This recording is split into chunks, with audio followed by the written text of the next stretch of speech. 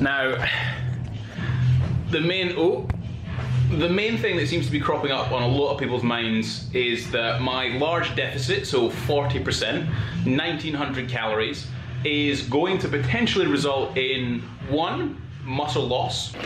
Number two is that somehow my metabolism is going to adapt to these really low calories. So that thing you might know as is starvation mode. I don't have a spoon, so I have to lick it to eat it. But um, number three,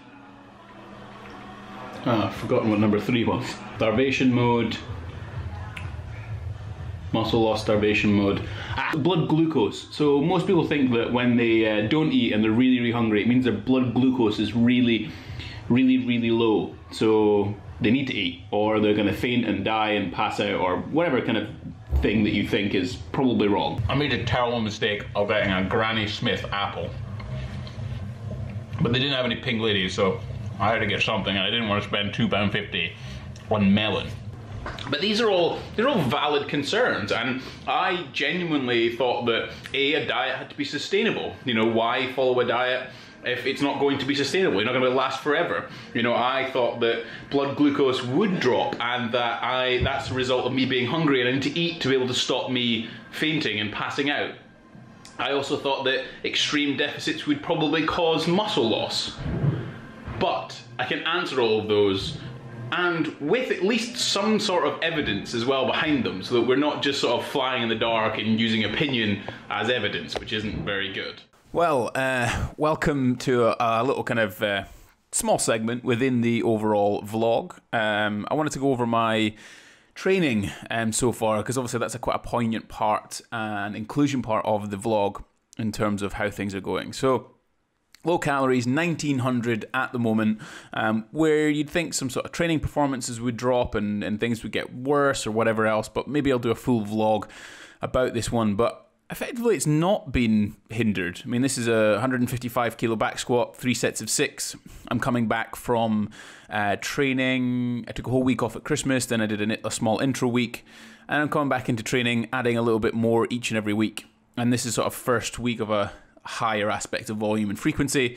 Um, squat felt good, felt kind of superhuman to a certain extent. I wasn't bracing quite as hard as I wanted to. You can see I'm tucking a little bit at the bottom, which is really annoying. I, my ankle flexion isn't amazing, and this is kind of why I use these these shoes themselves. But squats were good. 155, three sets of six, uh, and certainly going to up those probably to 160 in the following week.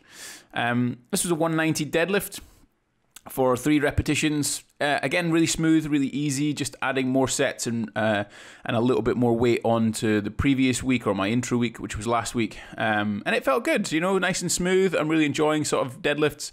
I'm trying to work a lot on my leg drive uh, rather than just necessarily backing the bar up, which a lot of people do. So you can see I'm sort of pushing really hard down through my feet um, to make sure that I'm pushing with my legs rather than necessarily just pulling with my arms. But yeah, 190 for three sets of three. It felt good. And then we get on to sort of our accessory work. Good old walking lunges, everybody loves those. Uh, walking on a train track and not a tightrope, like I've sort of described before, but everyone should do unilateral exercises as part of their training. And then uh, the camera decided to focus on the nice little uh, weight stack that's on the left hand side. Um, I also won't tell you what James was saying in the background that I was laughing about, but hip thrusts included. Um, we don't necessarily have an isolation uh, hamstring curl exercise here. Um, so what I tend to do is in the following uh, lower body session, I'll tend to include some sort of uh, hamstring work with a prone hamstring curl of sorts. So um, that's kind of where I work around that a little bit. Um, but these are really good. Um, I haven't included them in previous programs, but again, tuck that chin in, drive from the heels as hard as you can, and try and drive up through the glutes, holding sort of a little penny in between your cheeks. But yeah, camera wasn't in the best position here, but you know, it is what it is. And then finished off with some uh, calf raises.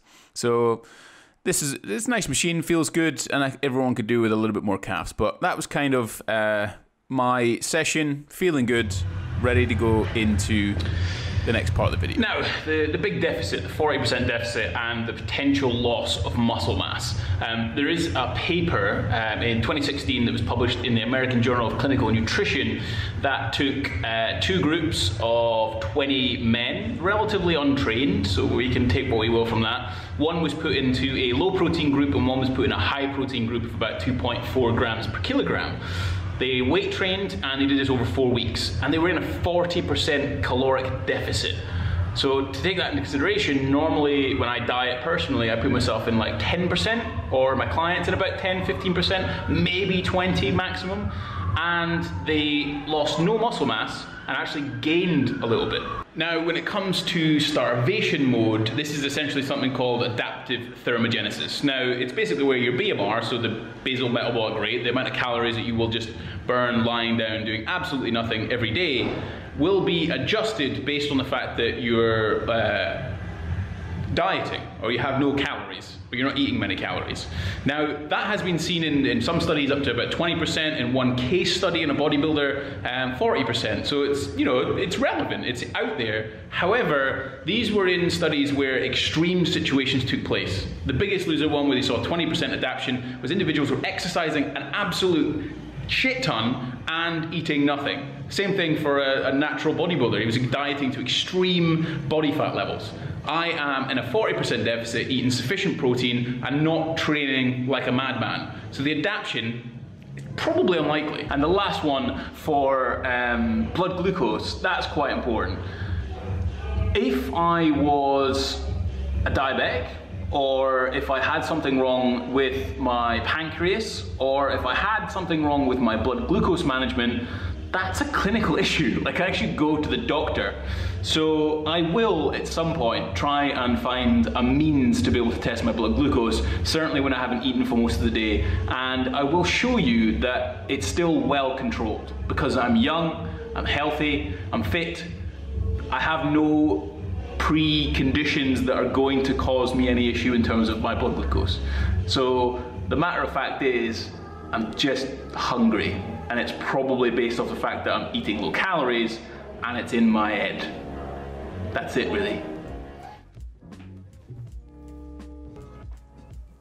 Right. Well, um, I uh, my my big goal for this year was to uh, to don't search for perfect and just get it done. Uh, or basically done is better than perfect. And this is this is my done. Like I don't have my setup it's not all fancy. I've got my camera on. I've rigged up my mic and we're just here. We're getting it done.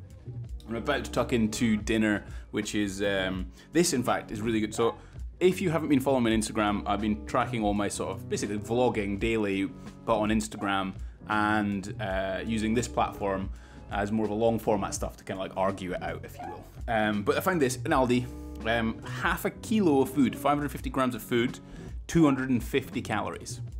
It is only 11 grams of protein, so I've topped it up with a couple of light Babybels and uh, Aldi Skyr yogurt, which is 16 grams of protein and an extra 10 from 5 of each of these.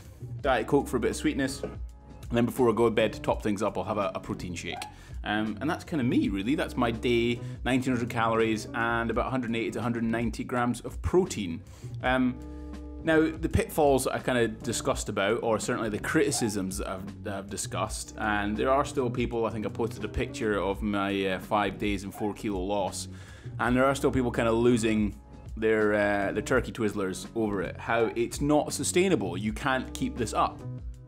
And you're totally right. I, I don't want to keep this up. I mean, I understand that. Um, uh, crash diets are terrible, but this isn't a crash diet. This is uh, kind of crash calories. I- am not elimin- eliminating any kind of food group, so I'm not cutting carbs to keto levels. I'm not doing anything that's necessarily different to what I'd probably do before. Um, you know, the habits are still remaining the same. I like vegetables. I have lots of vegetables. I have a high protein diet. I'm having very different types of carbohydrates. I probably have pulled back a lot on, say, processed food, but I don't typically eat a lot of that anyway.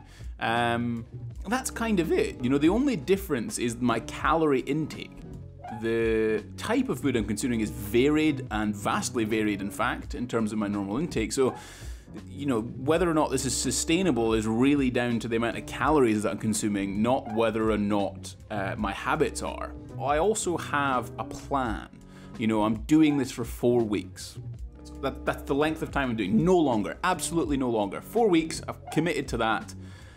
And then when I'm sitting there kind of pondering myself on Saturday when I was hungry, I thought to myself, I'm doing this to myself. No one's telling me to do it. I'm not I, I'm not forcing no one's forcing me to do this. I can stop if I want to. But I have a clear objective and a goal of what I want to do, and in reality, I'm not suffering. I'm hungry, but I'm not suffering.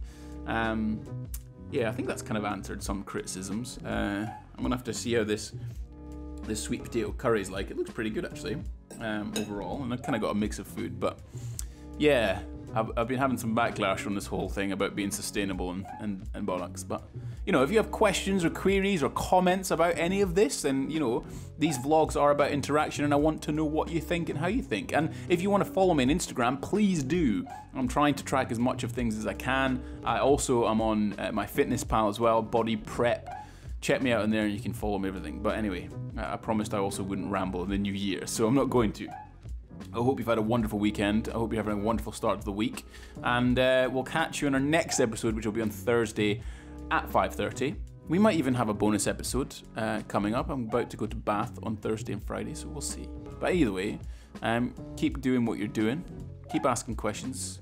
And I'm going to be here hungry, salivate. I'm actually salivating. Right, I'm, I'm thinking. Anyway, uh, episode two of the cutting season is done.